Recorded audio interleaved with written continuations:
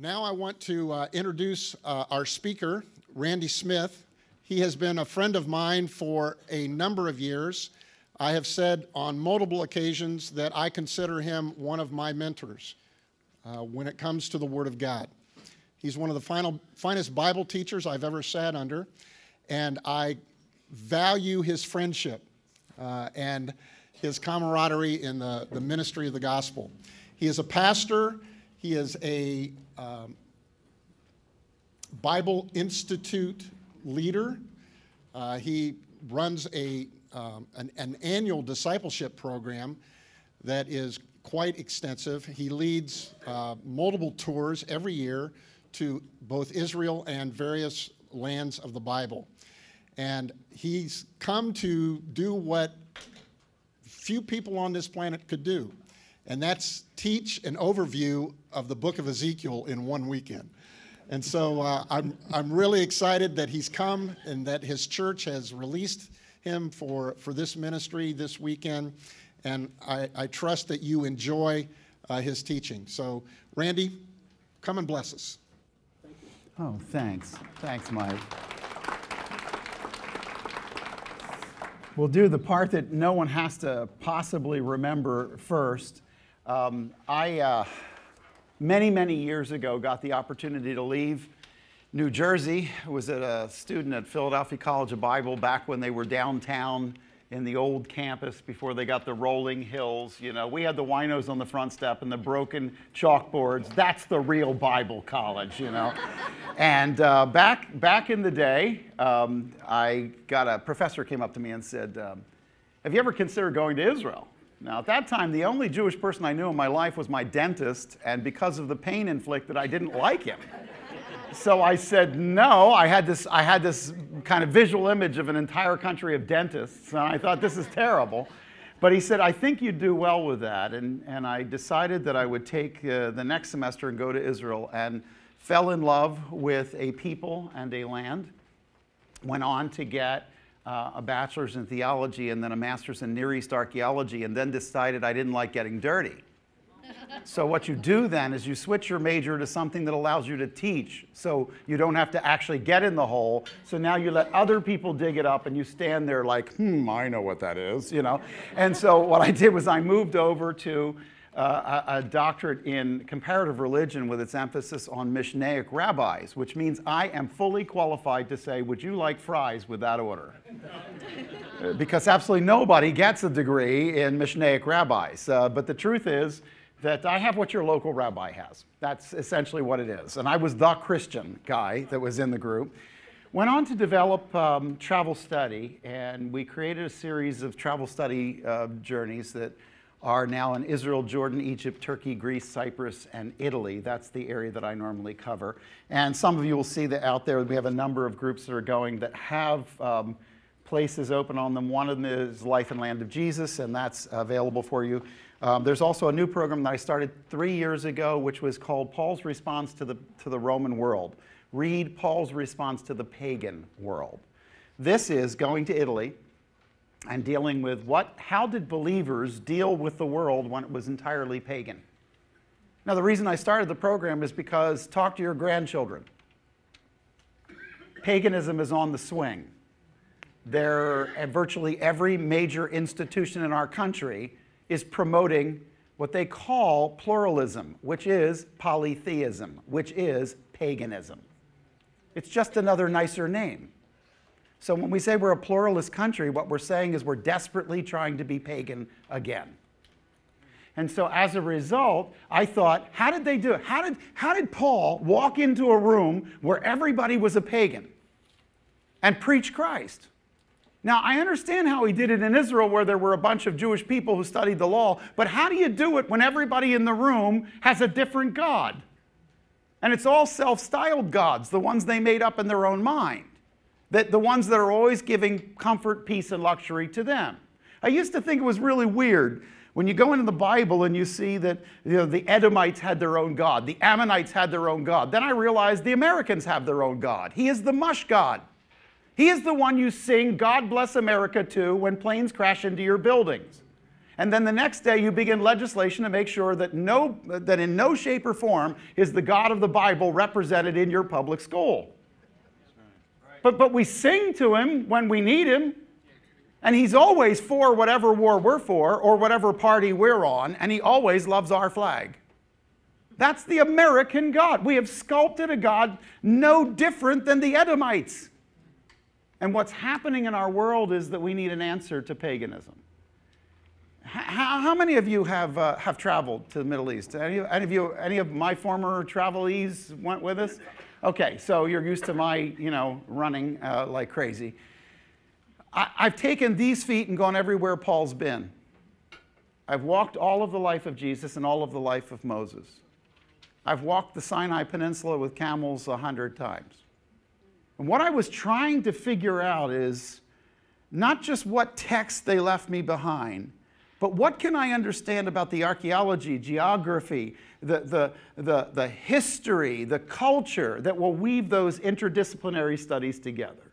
I, I want to take some time with you, and I want to look at a book that, frankly, gets charged with all the weird stuff in, in, in the world. Any weird group of, uh, or cultic group that wants to say they got their theology will go to Ezekiel, because it's like Shakespeare. Everybody thinks they should read it, but nobody actually does.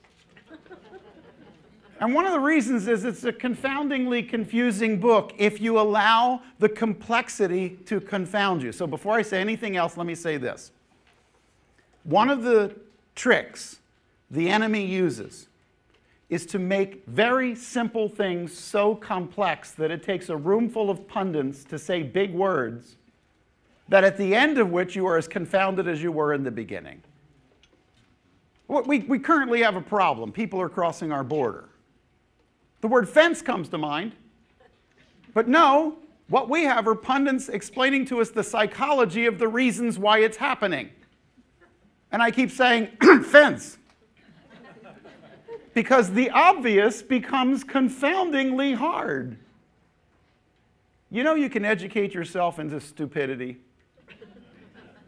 And paganism has a way of doing that. I, I want to I wanna talk today uh, in a number of directions for you from this book. And I got to tell you, it's a little bit, this is an awkward thing for me because really what I do for a living is open a text and start. That's what I do. Can't do 48 chapters in five hours. Not going to happen. I will tell you that the Bible School, Great Commission Bible Institute, is a school that does one thing that no one else does, and that's the reason we opened the school. We give students a no notes, wide margin Bible. And then we do the 1189 chapters of Scripture, and at the end, they have a study Bible written in their own hand. And I will tell you, last year's graduates would sooner give up their right arm than their Bible, because they got a lot more invested in their Bible than their right arm. And I'm, I'm serious. One of the worst days in the school's history was a young man left his Bible in a hotel room. There was weeping, wailing, and gnashing of teeth going on in the bus.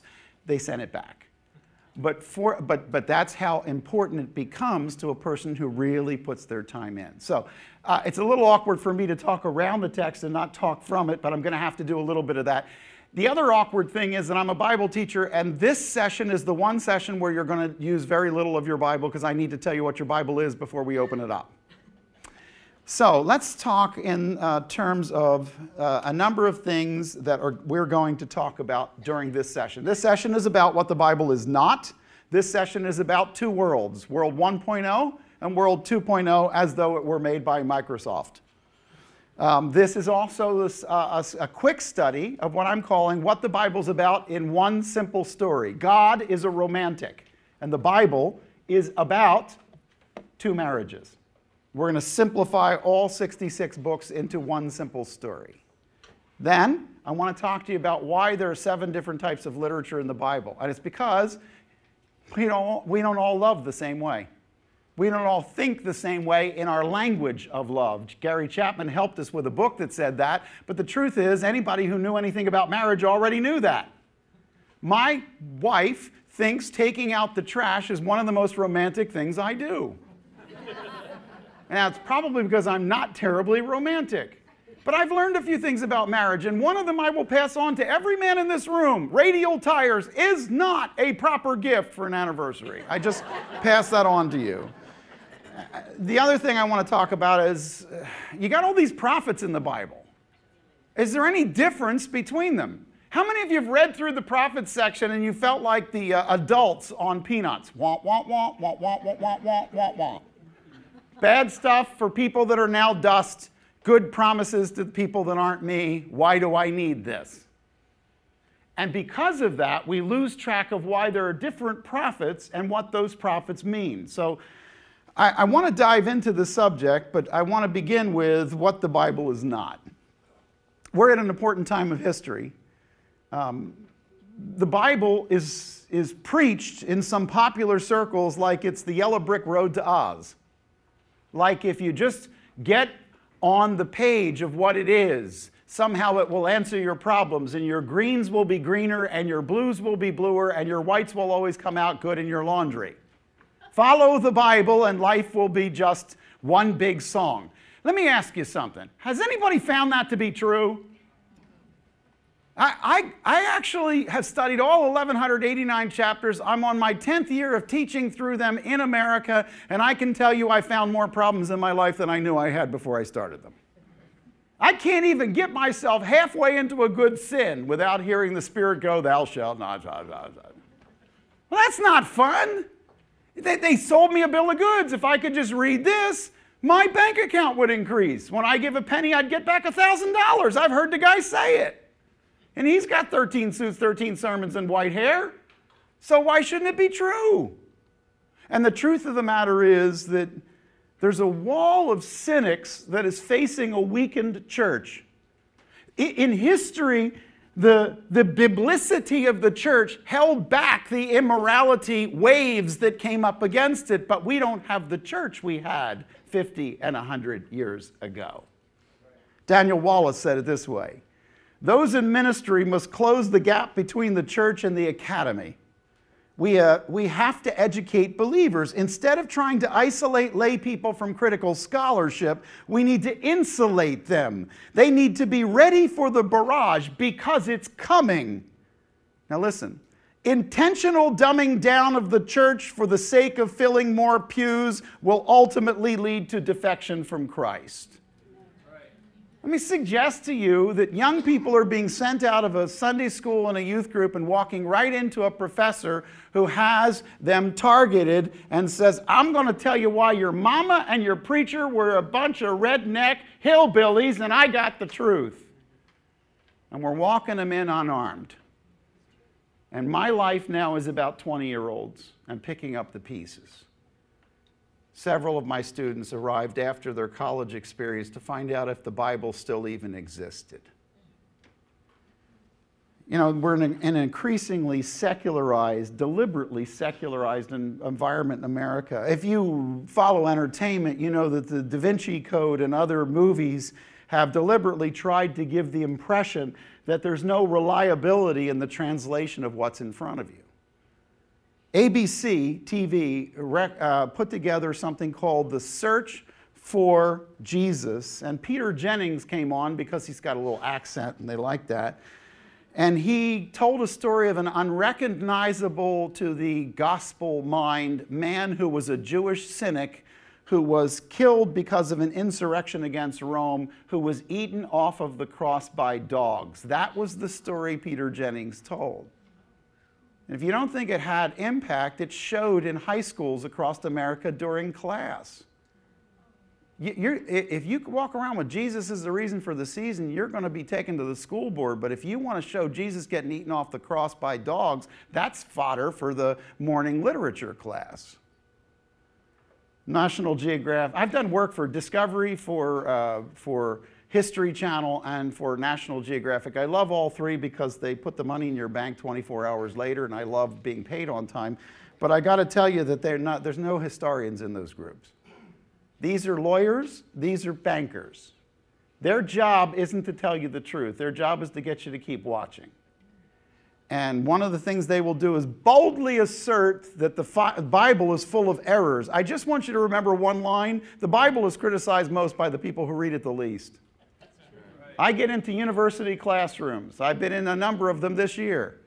It's not the students I have problems with, it's the professors I have problems with because they're sure the Bible's full of mistakes until I ask them to show me a couple. And then they stand there befuddled because they don't actually own a Bible. And I say academic integrity demands that you read the text before you tell me what's wrong with it.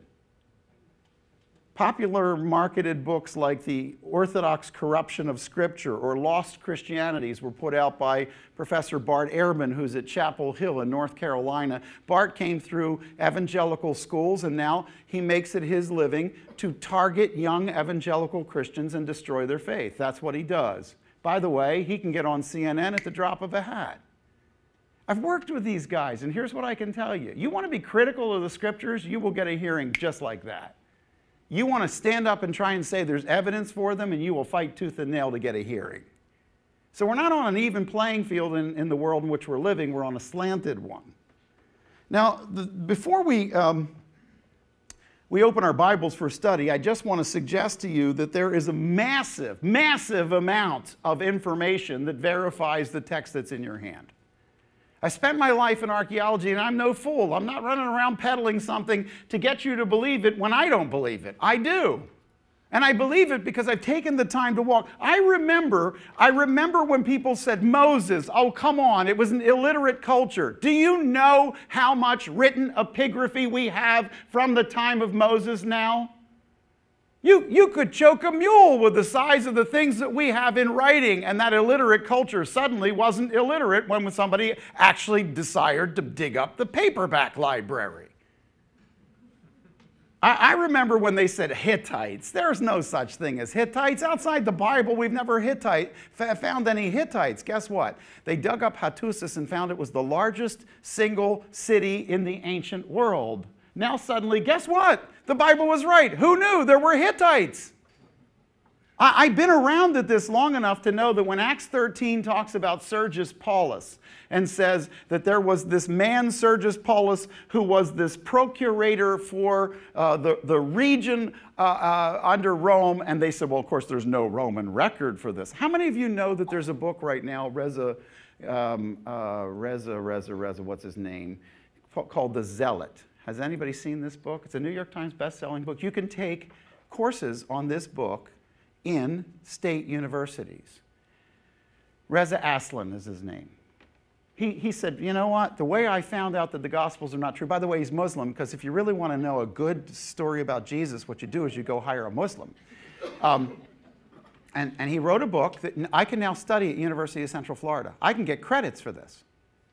And it says that the way I knew that the gospel wasn't true was because it opens up with a census in Luke chapter 2.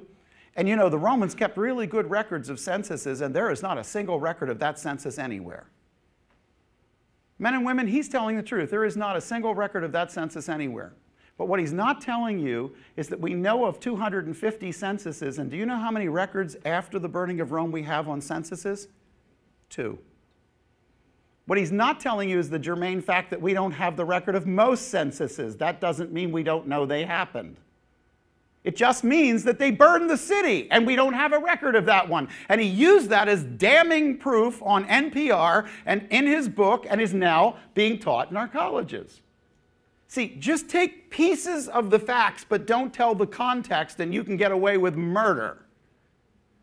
One, interestingly enough, in 1961, there was a group of guys who were digging at Caesarea by the Sea. And Caesarea by the Sea is one of the many ports of the Mediterranean world, but this one was built by Herod the Great.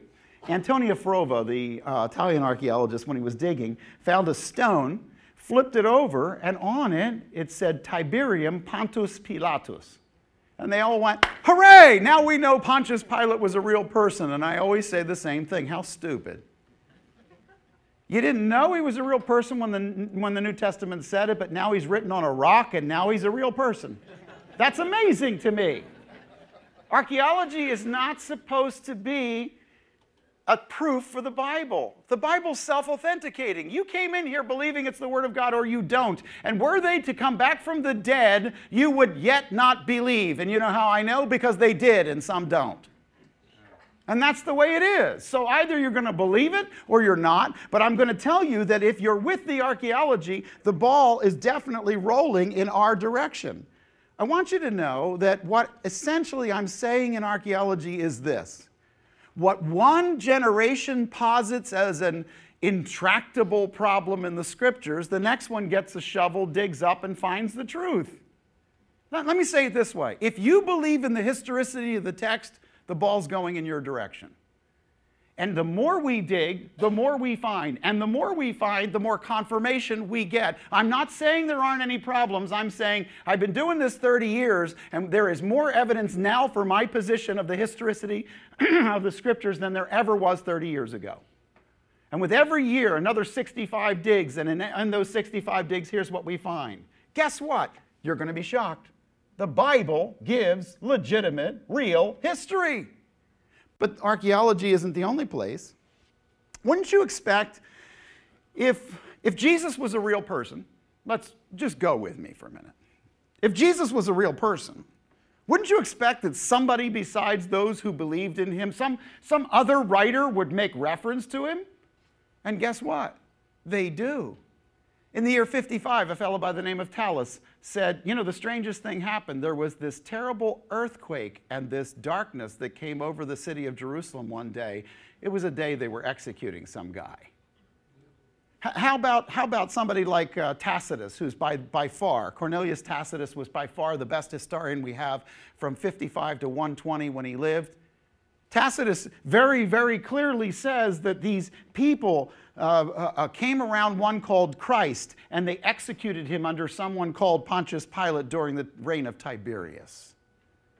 Suetonius, who's a less reliable but nevertheless a colorful historian, uh, said, You know, under the Emperor Claudius, there were a whole bunch of people who were punished. They were inflicted because they were given to a new and mischievous religion. They followed one named Chrestus. If you talk to Pliny the Younger, Pliny watched his, uh, his uh, uncle die when Mount Vesuvius uh, uh, was erupting in 79 in the Bay of Naples. He writes a very interesting letter to the then emperor and says, I got a problem with these Christians. I don't know what to do with these Christians. Can you help us with this rising tide of, of these Christians? And he talks about how to deal with the whole issue of rising Christianity. So here's my point archaeology points to the veracity of the story of the Bible. History correlates the story of the Bible, not without problems. But let me tell you something. We have more to authorize that Jesus was walking on the earth and died on the cross in the first century than that Julius Caesar was ever the dictator of Rome. I've got a hundred times more written material on Jesus than I got on Caesar. And in any historical university in this country, they will validate Caesar and question Christ because it's not a level playing field. There's plenty of historical cross reference. All right, so what, what do we have? My favorite picture of all times, by the way, the image here is not just a bunch of people trying to get bread. Uh, the, the book of Ezekiel is about reverence. It's about holiness, and we're not skipping it in our churches because it is hard. We're skipping it because its basic fundamental message is at odds with our culture. The book, if it had to say, I love Warren Wiersbe, he put, he put Be Reverent in his B series on this. The bottom line is we are a very irreverent culture because we want to be all that we can be and have it our way. That's the culture we are. It, this book was skipped by the church at critical hours of the church when it most needed it. That's what the picture's for. Let, let me say something uh, things about my, my, favorite picture is in, um, is in the Vatican Museum, which, by the way, if you're a historian and you love uh, art historian, um, you're probably going to say the same thing since they've got like 40% of all the world's art. But the, the wonderful picture of Plato and Aristotle, maybe you've seen this. It's called the School of Athens, Raphael. And you remember that uh, they're walking through a gallery, and you have the older man, Plato, and he's walking sort of, uh, uh, he's balded and he's got kind of long hair. And, and then you have Aristotle. And, and Plato is pointing up to the stars, and Aristotle is pointing down to his feet. Aristotle's the snappier dresser of the two. He's got more things and modern conveniences. The reason I love that story is because before Christianity ever existed, this same battle was going on that sets the stage for the background of what the Bible is. The battle is about what cosmogony you believe in. Cosmology is the study of the cosmos, but cosmogony is how it got here. And by the way, there are really only two. When you get right down to it, America is struggling not with red states and blue states. America is, is struggling over which cosmogony it's going to tell. You cannot have half the university saying there are no absolutes and the other half teaching math and science in absolutes. We have schizophrenic universities and we have schizophrenic graduates who believe there are absolutes when it comes to math and there are absolutes when it comes to science, but when it comes to human behavior, there are none. That actually doesn't work. So, the cosmogonies that we come down to, the two that we have to realize are first of all natural. Natural cosmogony is a very simple thing. It's naturalism posits that everything can be found, but can only be found in a picture of being, existence, and it excludes the uh, supernatural. In other words, naturalism teaches he, it's the old beer commercial. Doesn't get any better than this. You only go around once. Everything that is can be seen and touched and felt. That is the official position of 50 states, state universities. Naturalism. First, it, it, all the hypotheses have to be explained and tested within methodological naturalism. And, and here's the thing there's nothing that cannot be quantified according to naturalism. Now, there's an important reason why I'm bringing this up because the second corollary is that nature is best accounted for by reference to material principles, that is, mass and energy and physical and chemical uh, properties. The second part is now the basis of our, our, our, issues of science. It's the first part that Christianity has trouble with.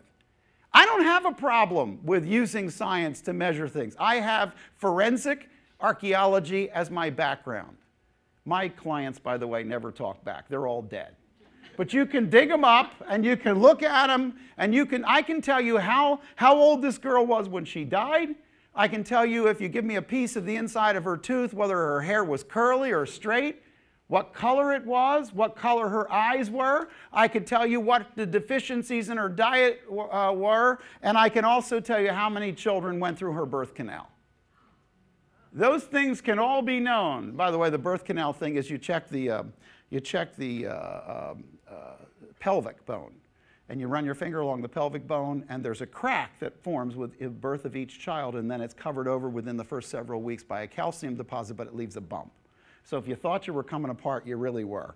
The, the, now, now the, the point is, with if you, naturalism comes down to this nature is all there is and all the basic truths are found in nature the logical conclusion to the basis of, of, of this life is this there are no moral constraints. That's why Dawkins said we swallowed evolution because it killed God and freed morality. You want to know the driving force behind this? It's professors that want to date their students. That's the whole thing right there.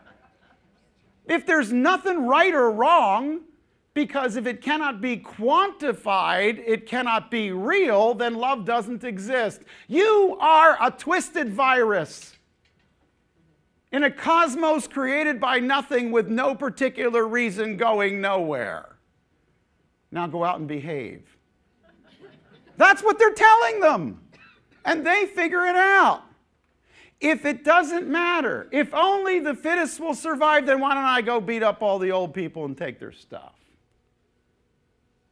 See, naturalism produces brutishness. Hang on, because it's the next wave. We're graduating naturalists, but they're an interesting group. The American naturalists are victims. They're people who have professionalized victimization. Somebody did me wrong. And so the court is clogged with them. Now, in, in uh, direct contrast and contradistinction to them, we have revelatory cosmogony. We, we choose to believe that there is a God, that He spoke, and that that was a deliberate choice of His. I can't prove it. I had a young man come to me and say, You cannot prove God. I said, All right, well, tomorrow night I'll tell you what I want you to do. Walk out and look up. Now, I want you to look at one quintillion stars and decide something put them there or didn't. Then I want you to ask this question Is there anything you've ever seen in all of your life that had design but no designer? In other words, is there evidence, cosmological evidence? The heavens declare the glory of God. The firmament shows his handiwork. That's either true or it's not. But it is a choice. You can look all the way up there and go, yeah, that just happened. The Bible calls you a fool, but if you want to do that, you can feel free to go right ahead.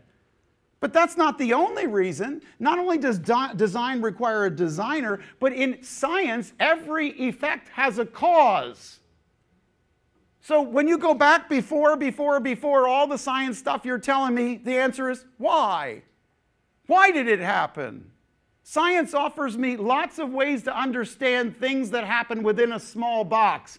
But here's the natural university that we have today. I don't know how I got here, I don't know why I'm here, and I don't know where I'm going, but I got me an education. and what you're doing is creating a hopeless generation. And by the way, the rights of every individual that are sitting in this room today are hinged to a group of men who understood inalienable rights were given by a God who created us.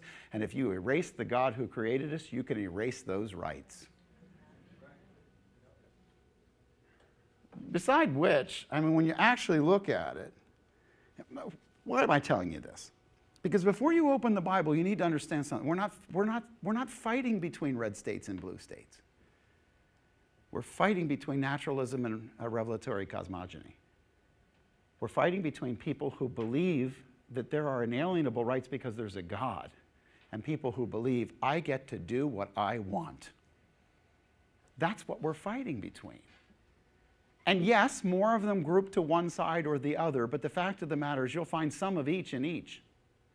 That's why I'm a purple American. And what I can tell you is this we're going to approach this. By the way, n- normally my, uh, my young people today, they're not atheists. Atheism was so 70s and 80s. They're not atheists, they're agnostics. What's the difference? Because they don't believe that there isn't a God or there is. They believe that, you know, to say that you really know there's a God or there isn't, that's so like judgy. So the current generation walks around going, I have a degree which has now qualified me to say that you cannot know anything. These are the people running the systems of our life. And that's part of the problem, modern agnosticism. All right, so let me, let me tell you where we're approaching this, because I don't know who you are. First of all, I'm going to come at this as though there is a God. I'm going to come at it as though He is the God of Abraham, Isaac, and Jacob, the God of the Bible, that not only there is a God, but that God spoke, and that we have His message because God began everything in relationship. And I want to talk to you for just a minute about one thing before we go further. It's the difference between you and your kids and your grandkids. You and I were uh, educated with what's called Aristotelian logic. Aristotelian logic, by the way, this changed in 1961, the year I was born.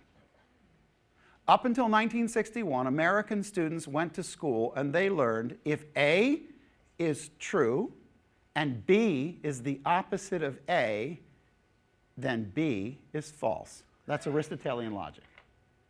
In 1961, from Columbia University, a series of think tank professors decided that they would come together and teach us a brand new logic the logic that is prevailing in your children and in your grandchildren and in the mainstay of America, and it is this A is true for A, and B is true for B, and A cannot tell B what is true for B. Now that works until you're banking. You know, my feeling about how much I have in the bank is not relevant if it's different than the bank's feeling about how much I have in the bank. Postmodernism, then, let me just say where this went. Postmodernism went to deconstruction. I'm, I'm telling you all that this is not just blah, blah, blah. There's a reason I'm doing this, and it'll come up later in the book. Here's the bottom line Sunday morning, we get together, we open our Bible, and we have two different ways of thinking about what's in front of us. And even the young person that says, I believe this is the Word of God, has been taught a postmodern deconstructionist version of how to read a narrative, not just the Bible, any narrative.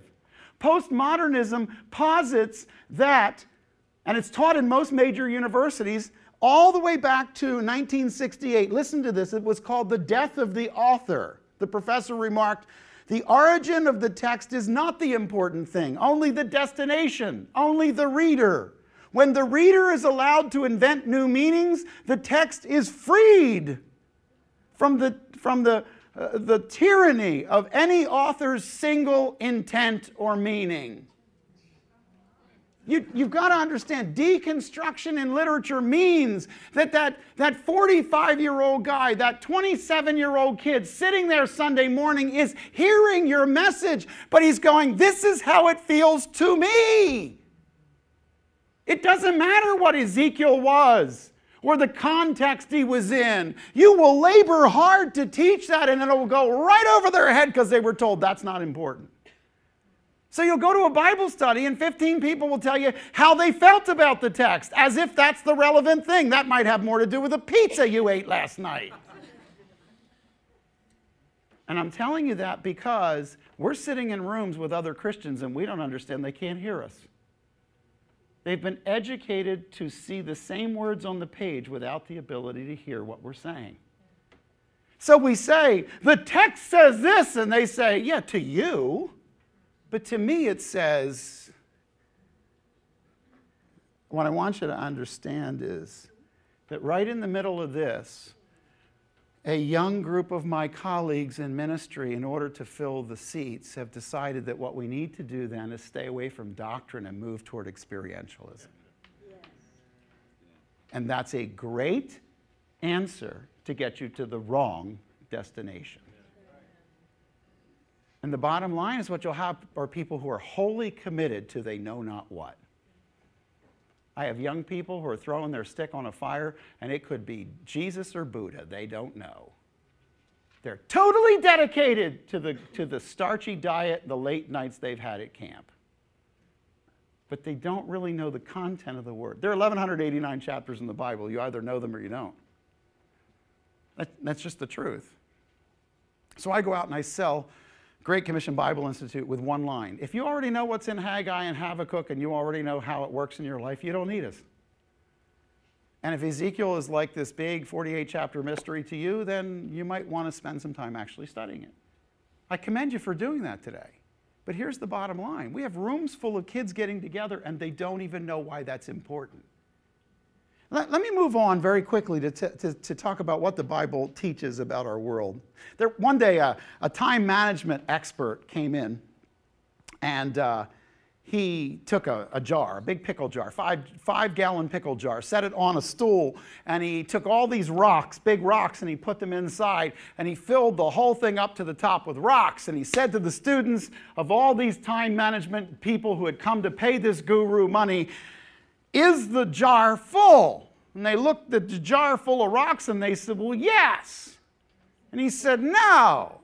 And then he reached down and he took some gravel and he put some gravel and he began to shake the jar and pour the gravel in the top, and the gravel made its way down between the big rocks.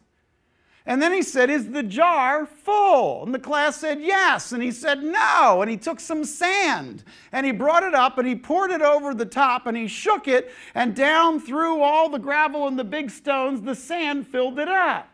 And he said, Is the, is the jar full? And the students said, We think it is, but we're going to say no because we get it wrong every time. So then he took some water and he put it up and he poured it inside. And then he got it up to the top in this soupy mess of sand and gravel and stones and says, Is it full? And they said, Yes. And he said, Yes, it is. And what does this teach you? And one time management guy says, There's always more time to get more in. No, that's not what it teaches you. If you don't get the big pieces in first, you'll never get them in. So you start with the big pieces. Ezekiel is about the majesty and holiness and glory of God. It's about the reverence of man and his need to encounter him, but it's mostly about one prophet. It's a love story about a guy whose heart is broken. And the love story goes something like this If you don't see me, you'll never be able to stand up in front of the false prophets of your day and speak truth. If you don't feel what I feel, you'll never be an effective communicator of what I need you to say. That's Ezekiel. That's its story. 48 chapters, and halfway through the book, the man's wife dies and he's not allowed to cry because God told him he can't. This is a romance book. If you don't like romance books, you're not going to like the book. At the same time, I want to just stop and say the Bible offers us some stories that are incredibly important. In the very, very beginning, in the mind of a God who always was, way back when, God decided to create a world. We're going to call it World 1.0 after Microsoft, and there, which means there has to be updates to follow because the first one's going to be flawed. Um, but he, invi- he decides to, if you don't have a Microsoft product, you have no idea what we just said. last week, I was in, I was in, I was preaching last week, and I said, uh, I was talking about a product I got from IKEA, and I simply said Swedish. That's the word for puzzle. No one who hadn't, didn't have an IKEA product knew what I was talking about. Went right over their heads. But if you, if you have one, you know 3,000 pieces and one picture to tell you how it goes together. Anyway, the, the important thing is that God in the past decided in his own mind that he would create an incredible universe. It was colorful, it, was, it, it had sound and beauty. He created beings, but he created a set number of them, millions of them, but a set number. There was no sexuality in them, they were all one thing. But, but here's what's interesting He created them in four ranks cherubim, seraphim, archangel, angel. And he created a world and a universe. And he was happy. And they sang to him. And they did whatever angels do together when they go out on camping trips, paint each other's nails. I don't know. But they were doing things. They were having fun, flapping around and whatnot. And then one cherub close to God decided he would peel away in rebellion and took a third of them away. Stop. Just remember this the number with God was always greater than the number against him. Uh, Satan likes to fluff up. The enemy likes to fluff up to make himself look bigger. He's never been the majority. Never. But a third peeled off. Now, the other two thirds were with their maker, and they saw God, and they saw him watch them peel off, and, and, and they thought, surely he's going to go, blah, and they're going to die. But he doesn't. Instead, he turns to the two thirds of the angels that are with him and he says, Sit down for a minute. Park your wings. I want to tell you a story. And in the middle of that, he decides to whip up another universe, World 2.0. In this universe, it's a little bit characteristically different than the first one. The first one was metaphysical, this one's physical. He flung into the cosmos one quintillion stars. He spun planets around them, did a little extra color, and then chose out of his own mind one, one solar system, one star, spun some planets around it, and the third rock from that star said, Watch what I do here. Bam! Put a garden on it. And he created a world. And he deposited into that world a man and a woman. And the shocking part of the story is he did not defend them from the other third. And slithering into the garden was one who said, I can make you strong. And man and woman defected on that third rock from the sun and joined the third in rebellion and mutiny. And all the angels went, God, look! And he said, Wait, wait, I'm telling a story. I'm the writer of the story. Follow my story. I got a plan. He walked down onto that earth and he looked at that snake and said, You're very, very, very slick. You're going to chew dust and you're going to wound badly the child of this woman, but he's going to crush your head. Take your time because I'm not in a hurry. But just know this is over when I say it is. And he develops the story of human history. And at the end of human history, look at the last page of Revelation and you will see this story. Written on the foreheads of the people who are known to be God's people is the great name I am Yahweh, Jehovah. Because the last part of the story, when God says I'm a trophy of His grace, I really am. I'm a trophy played in a movie. Now, who's the movie for? the cosmos that's been watching since we were created. The Bible isn't the story of redemption. It isn't the story of destruction. It isn't the story of wrath or of judgment. It is the story of God and who He is. And there is no other explanation for why bad things happen to good people other than watch my story. I finish what I start. So you might be a Naomi, and you might lose a husband and two children. And you might be sitting there saying, Call me bitterness. God has dealt bitterly with me.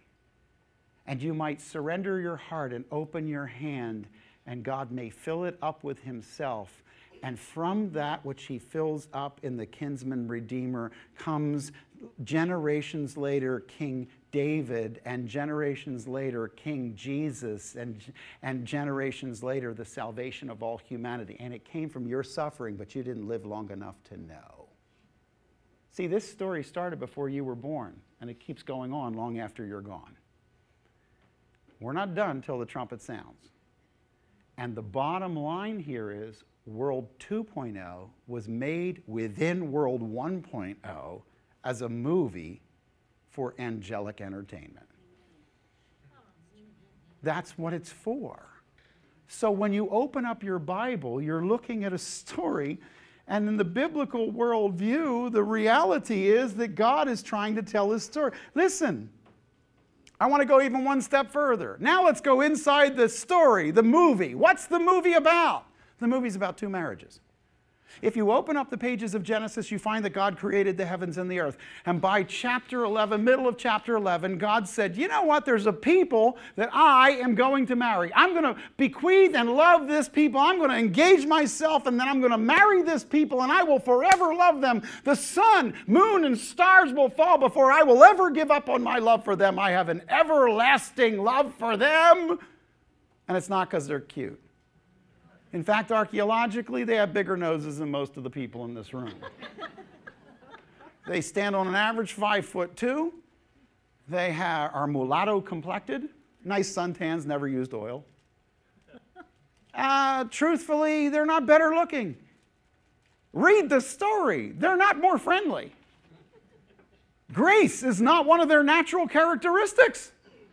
But God, in His sovereignty, said, I love this people I'm going to call them the sons of Abraham through Isaac, through Jacob. And just to make sure we don't spiritualize this, he said to Abraham, They will come through your loins. Now, that's about as genetic as you can get. And I am going to love them with an everlasting love. And I'm going to marry them. And Hosea says, and, and I married them, and I made a beautiful vineyard and a beautiful home, and they went cheating on me. And not just once, they became known as the town whore. And, and in reality, I had to withdraw my hands and divorce my loved one that I said I would always love because I still love her, but I cannot have her do that. But she didn't get a divorce from him, and he did not divorce her until they had a son. And that son was the combination. I'm, I'm cheating on Revelation 12, you know that, so that's what I'm doing. And that woman bore that son. And that son was told to walk on the earth and love not one people, but many. Not choose one nation, but people of every tribe and kindred and nation and tongue. And offer them a betrothal. And in that betrothal, there's coming a day, it could be today, when a trumpet sounds and God the Father calls the Son's bride to come up. See, we're not married yet, we're just engaged. You know how they always say the best behavior you'll ever get out of them is when you're dating and engaged to them? That's what scares me about the Church of Jesus Christ.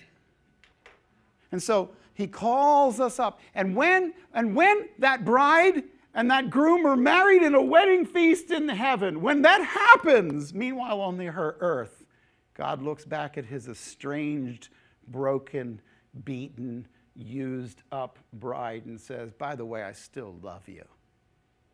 And I'm going to kick the stuffings out of this old earth until finally you bow your neck. Mm-hmm. And at the end of seven terrible, horrible years, she says, Enough.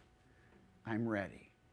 And the end of the Bible is that the Son and those who are married to him come to rescue the estranged wife of the Father. By the way, I'm in row 1,377,464, third from the left. and, and just in case you don't know, 2.0 Randy is gorgeous. 1.0 is what it is. So, my point is that that's the story. The story is a story of two marriages. Now, when God tells us the story, He tells us the story not in what would make some of you happy. Some of you would be very happy if the whole story was just epistles. You would love it if the whole Bible was epistles. You spend all your devotional time on just tell me what I'm supposed to do. All right? Tell me about the theology of infralapsarianism because I like to look smart when I go to work. And now tell me that I'm supposed to do this, act this way. Epistles are just one of the ways that God speaks. That's not all of them. Yes, He speaks in terms of epistles, but He speaks in many different ways. The problem is your Bible has a mistake in it. Every one of your Bibles has it. In the 8th century, somebody decided that when they were reading Hebrews 7, 8, and 9, that that which was old and done away meant books of the Bible, and put in the front of your Bible Old Testament. There's no Old Testament. Okay? There's, there's Hebrew scriptures written to the Hebrew people. But the problem is when you put old and then you put new, it's like you got the new improved version and they got the old, dusty, dead version. No, there's part of the Bible that is directed to God's estranged wife, and part of it that is directed to the betrothed of the Son. But it's not old and it's not new. And it's not somehow more God's word because it's in Colossians than if it's in Leviticus. The question is, who did God tell to do what he said in the passage? That's the question, not whether it's old or new. By the way, the big problem we have is that people want to take the Bible and look like God just dropped it to a kid in New Jersey. There are four ways to get married in Corinth. There are only two in Florida. I don't know what you got going up, on up here in Ohio. I can't really speak to that. But, but, but in, in, in Corinth, a man could trade his daughter in a debt for a pleasurable service woman to a man who's already married, and that's a considered a second but legal marriage. So when you're reading 1 Corinthians 7, you might want to know there are four ways to get married, not two, and half the things we're reading out of the text aren't even about things we do anymore. Why is that important? Because people are making up morality from stuff that doesn't have to do with the cultural law they understand. So the culture becomes relevant. And what people are doing is they wander through the Bible and they're saying things like, well, you know, all the scripture was written for us, and so some guys are running around going, we got to keep the Sabbath. All right, well, then kill a goat to make God happy. Because you don't get to select out one verse and not the other. Either you're going to be consistent and find a consistent uh, method of study of the scripture, or you're going to be all over the place. This happened to me. I'm in a youth meeting, and a guy's standing there saying, I told Johnny he can't have a tattoo. I showed him right here in Leviticus where you can't have a tattoo. And he was eating a ham sandwich when he was telling me. And I thought to myself, do I shut up or do I walk into this one? And of course, you know what I did. So here's my point. One of the important things we have to understand is that the Bible contains seven different ways of telling God's love. The uh, 54% by Randy's un, uh, unauthorized way of cutting up Bibles all over his apartment shows that 54% of the Bible's biography. That means it's drama. You think TNT knows drama? God knows drama. And the drama is about specifically God working in flawed people who are falling all over themselves, who will foul up a two car parade, and God showing himself through their lives. But some people don't get it through bi- biography, they need prescriptive epistle. When you get sick, you go to the doctor, you have certain symptoms, he writes a prescription. The prescription only works if you fill it and then take it, use only as directed. Okay, so prescriptive epistles are where God says, You're sick, here's what you need. There's also lamentations. These are very, very tough. I mean, when was the last time you heard a rousing devotional from the Daily Bread on happy shall he be when he bashes the heads of their babies against the stones? It's in the Bible. But what's it about? Or, God, you're not fair. People are getting away with murder down here and you're sitting on your hands up there. What are you doing? That's a Bible verse. Is it true? Is it, do we tear it out? How do we deal with it? Well, you have to understand how lamentation works. Then there's a whole bunch of legal code and covenant treaty. How many of you figured out that there's lots of legal code in Scripture? And the problem is, in the period of the Hebrew Scriptures, you had a bunch of people who had these laws, and then they went off into Babylon, which was the oldest lawyer town in the world. And when they came back, they all came back as legal experts, like we are the day after the Supreme Court sends down something. If you look on Facebook, everybody has suddenly become a legal expert and they come back, and if you spit on a rock on the Sabbath, you're okay, but if you spit on the ground, you're tilling the soil, and we need to get the rocks and start pummeling you. Between the Hebrew scriptures and the Christian scriptures, Babylon happened, and it changed everything. We're going to be dealing with that period of time. By the way, there's a whole section. This, can I be honest with you and tell you the hardest part of what I do during my year is teach wisdom literature to 20 year olds? They've never paid a water bill, they have no wisdom. My standard of wisdom is have you paid bills consistently? If you don't know what it means to do that, at any rate, God speaks in wisdom literature. He also speaks in poetry. How many of you really don't like the sections that are all poetry? Is there anybody else willing to go, yeah, I'm, give me an epistle any day of the week? This, you know, feeling my way through it. But here's, here's the point. Here's the point. When you take a look at that and you look at prophecy and poetry and look at the way God tells his story, what you should understand is that in all of that, something is happening. God knows that everybody in this room tells love differently. So he tells his story in seven different ways. Because some of you are going to really respond to poetry. You're going to love the musical section of Psalms. Others are going to just tell me what to do, will you? Don't be humming at me. I just want to know what I'm supposed to be doing and not doing. Now, I've got to finish this up, and I want to say to you that not all prophetic words are the same. In fact, they're not all the same at all. There are four different kinds of prophets in the Hebrew scriptures. The first ones are, and I'm going to do these as a parent, okay? So go with me on this because I'm a parent. The four kinds are begin with divided kingdom prophets. This sounds really lofty. Here's what this is. After Solomon in 928 uh, dies and, and the kingdom is divided between north and south, you got prophets coming up in the north and prophets coming up in the south. And it sounds something like this. You've never heard these words before. If you two don't knock it off, I'm coming up there with the belt.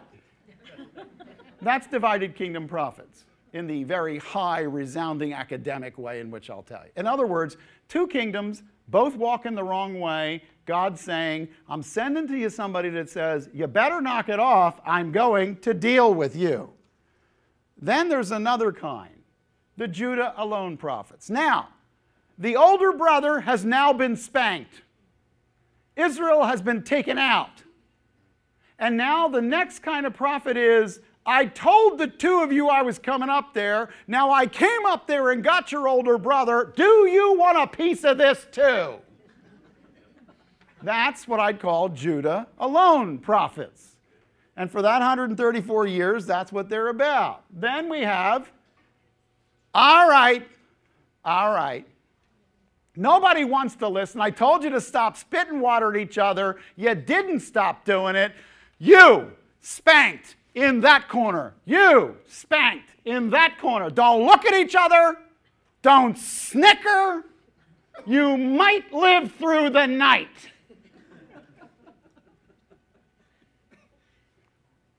And what you have are two groups of people in exile. And by the way, the younger brother thought the older one was gone forever because 150 years passes and they don't even know where the Assyrians took the older group and they just assumed they were gone for good.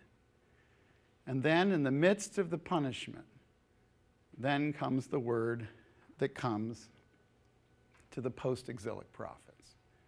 These are the guys that say, All right, come on back. Let me give you a hug. I do love you. Do we have to do this again? Or can dad go down and finish watching his movie and the two of you just go to bed and shut up? Did anybody ever have this story happen in their house? I grew up with between 12 and 15 children at a time in my house. This is what we called Tuesday night. And what I can tell you is this you feel like you're going through lots of prophets, but I would challenge you the seven prophets that are in the first section are not like the three prophets in the next section. The sound is different according to where they are in the punishment. And that's my point. Okay? Uh, what do we do when we get to a break time? What are we supposed to do? Just go, it's a break time? he points to him. Okay? We go, Okay, it's a break time.